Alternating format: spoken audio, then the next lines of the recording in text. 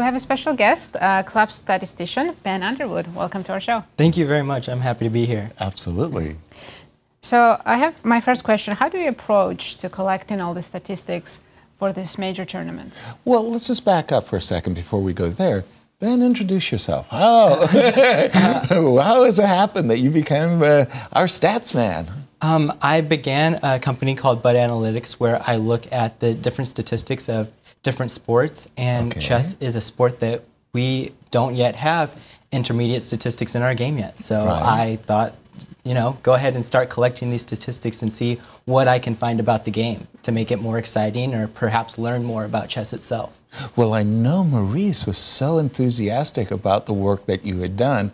And, and thank you, of course, for all the graphs you've been providing us as well. But uh, furthermore, uh, did you pick that up from other sports that you bring the statistical world to chess? Yes. So I first began with interest in other sports, and then upon seeing that chess had yet to have you know these intermediate statistics to measure the game, I became very interested in trying to find that for the game itself at first.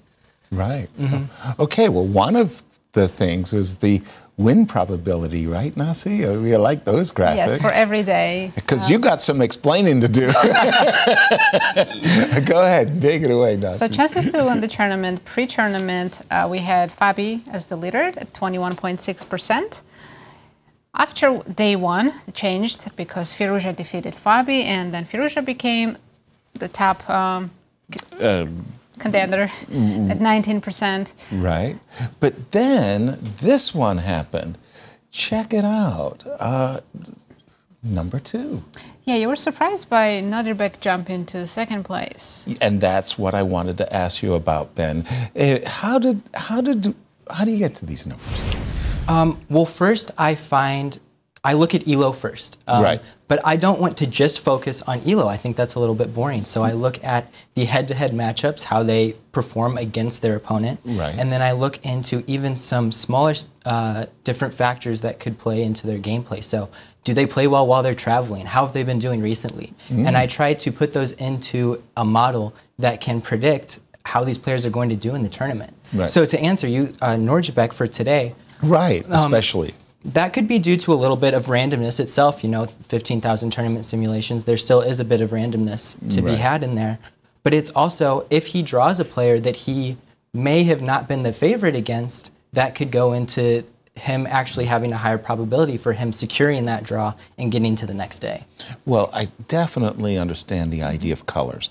Colors, uh, elo Yes. being a factor, colors being the extra white, the travel. Yes. Now you're getting into some mm-hmm. interesting X factors. Yes. What other X factors do you look for?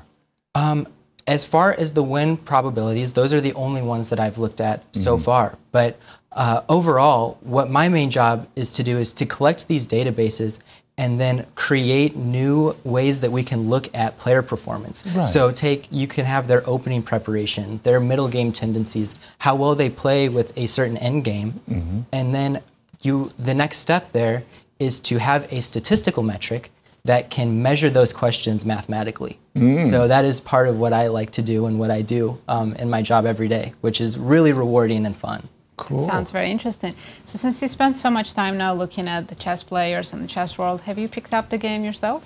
a, a little bit, a little bit. I am still by no means a great chess player, but I am trying to get better and better as I practice and listen to you all every day doing your analysis. Nice. That's wonderful. And uh, I'm sure you've done predictions for this Sinquefield Mm-hmm. Cup, but personally, what do you think? Who's going?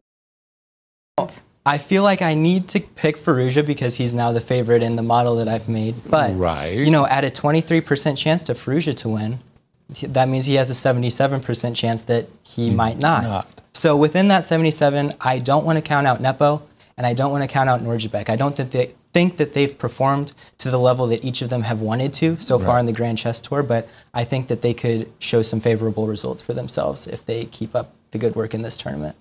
If there's one stati- one statistic blah, blah, blah, that you'd like to measure, which is kind of difficult, what would it be? Ooh, That's really hard. I would love to measure overall middle game tendencies. And a few of the small ones that could come hmm. into there is is a player more likely to trade in a certain position? If they trade, does that help them in the simplified end game, or hmm. are they going to do better with these more complicated end games uh, versus their opponent? So I think that can vary per opponent. It can vary per player, and I would like to look a little bit more into that as we continue our show. That could be an interesting stat. I got one last question for you. Sure. Are you ready? Here it comes. That, have any of the players come to you and said, "Give me some advice on what I might play against Anish, for example"?